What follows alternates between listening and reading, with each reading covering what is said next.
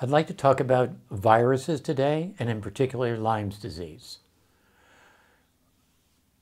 I think people have learned enough about knowing now that when your body naturally tenses and resists and when you stretch, that you get an increase in flexibility. That's natural stretching. I call it resistance flexibility. And when you do that, you don't just get an increase in flexibility of the muscle, but its capacity to shorten, its rate of shortening, and the rate of the rate or the acceleration. But you also get a concomitant upgrade, potentially, in the health of different organs of your body. So when you stretch muscle groups on the outside of your lower leg, that affects the health of your gallbladder in traditional Chinese medicine theory.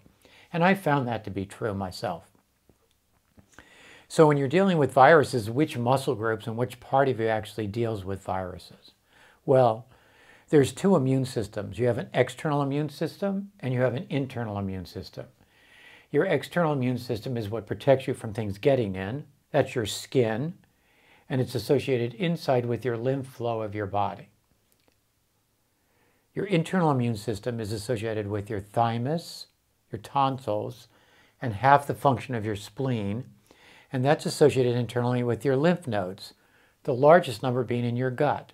That's why they say health is in your belly. So your internal immune system is the part that actually deals with viruses. The internal immune is kind of like a, remember the old game Pac-Man and Pac-Women or whatever? Those lymph nodes like to eat everything you don't want in your body. They like really do the most incredible job. So you want an internal immune system that's extremely strong. How do you get a strong internal immune system? Well, your external immune system is strengthened by you exercising in vigorous ways. Whether you like to jog or run or row or play baseball or football, whatever you like to do that's very athletic, that turns on your external immune system to protect you from the outside. But your internal immune system is strengthened by two things, not by athletic activity, primarily It's primarily affected by the diet, the food you eat, which means nutrient dense, organic, biodynamic food, and how long you've been doing that, and natural stretching, what we call resistance flexibility. So you want to develop your internal immune system. So if you haven't done that, then start working on that. You can go to our webpage, thegeniusofflexibility.com, and learn 16 kinds of stretches and either self or assisted for your whole body. And you can get people to help you, assist you in those stretches too. And that can be that part. And then start learning a lot about and enjoying eating amazingly great food. When a virus gets past your external immune system and it goes into your body, viruses are very clever little things and they attack very specific parts of your body, sometimes a specific muscle group, sometimes a particular organ system. Lyme's disease attacks, quote unquote, your pancreas. That's how that works. Well, your pancreas is the part of your body that produces enzymes to digest your food. So when you eat food, what happens is that the food goes down into your belly, it comes out of your stomach, it goes into your small intestine, and then your pancreas and spleen release enzymes to digest the food. So your food is kind of like the wood in a fireplace, and the oxygen comes in, you need that, and then you need a match and that match are the enzymes that come from your pancreas. So if the virus attacks your pancreas, it starts to dampen the ability of the pancreas to do that. And when that happens, you don't get the match. So now you don't get, even though you're eating good food, you're not getting the digestive fire that needs to happen. There are other things that are associated with the pancreas. The pancreas is also associated with the ability to concentrate and your energy levels. So when you have a healthy pancreas because you've eaten great food and really had a fun time doing things and enjoying your life, then what happens is that your pancreas actually keeps track of you so that you have a lot of good energy and a very even energy source. Otherwise, if the pancreas is negatively affected, you start crashing. So then your energy levels go, go up and down. They're not supposed to do that. And then unfortunately, if the pancreas is affected too negatively, you start stealing energy from your kidneys, which is like your savings account. And then after a while, you're depleting your savings account.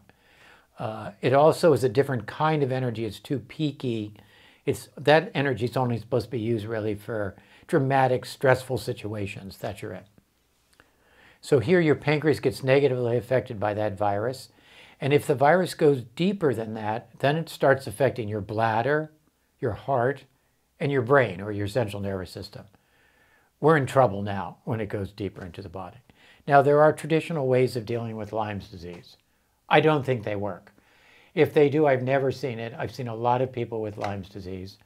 I think your body's equipped to deal with it. So let's let's use you your body. You know, the body is medicine. And let's let's use your body to affect that Lyme's disease. So the way you do that is that you do you're going to stretch muscle groups. They go over the top of back of your neck into your neck to the nape of your shoulders out the back of your shoulders, down the back of your arms into your ring finger, and stretch out those muscles naturally. That's stretch number 16 in my book and on the web page. And then go after stretches for your pancreas. And then go after stretches for your stomach. And then if it's gone farther in you, then go after your bladder, your heart, and your central nervous system. And get other people to help and stretch those for you. So you can start to re reverse this entire thing. There's a weird thing about viruses. They're not very smart. People think they're very smart. They're not like that. They overpopulate and kill themselves. That's how viruses deal with things. So when you get a normal flu, what happens is that you get a virus. The virus comes into your body, usually affects uh, in your belly region of your body. And then what happens is it reaches critical mass in its population, then they start dying off. So it lasts for about 24 hours. Other flus can last longer and be more disruptive. Lyme's is one of those. There are debates about whether Lyme's disease was created in a lab or altered or all that matters, but all that really matters is that your body is the medicine you can use to heal yourself and let other people help you do that. So I highly recommend that if you've had a poor diet before and haven't been good at stretching or because it doesn't really work unless you resist. So you probably never did it before it doesn't really work. But now that you know how it works, and you now know that you can eat better food, and that turns on your internal immune system. So you're eating food not just to feed you, but to build your immune system. That's good to know. Then start doing it now, because if you have a, of a history of a poor diet and not stretching, your internal immune is not so strong. And that's supposed to be the most incredible system in your body. So you really want to prioritize that. That is your health, right? Who cares if you have everything else if you don't have your health? Let's let's get the health. So don't worry about the Lyme's disease. I get it's terrible. It's incredibly destructive to people. There's a huge number of people that have that. Now let's do something about it. Go after those stretches. Get people to help you make bring up your health and let's come through that. Then you get the high side of that disease instead of the low sides. You get to have a better life, you get to have more fun, you get to concentrate better, you become a better writer.